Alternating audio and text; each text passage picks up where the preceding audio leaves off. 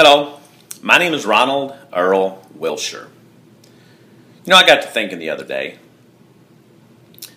if you'd like to increase the chances of you and me remaining friends, at least in the near term, I would suggest that you keep all negative opinions of me to yourself.